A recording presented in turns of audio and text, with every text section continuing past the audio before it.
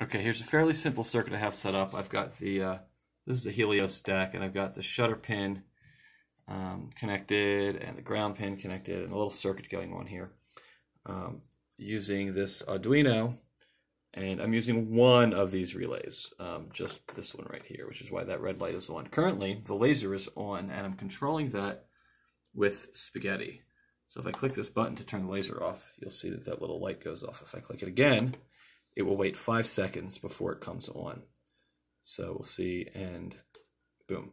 Now if I click it, you should be able to hear me click it in the background a bunch of times. It won't just come on and off. It'll wait five seconds till the last time I clicked it on before it comes on.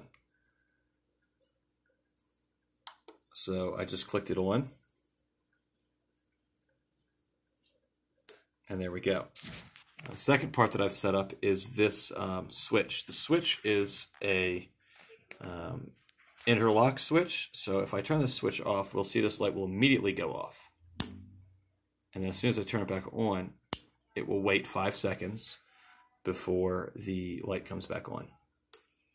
And the sketch is set up so that no matter what you do, as soon as all of the conditions are met for the laser to be allowed on, it's going to wait five seconds um, just for safety.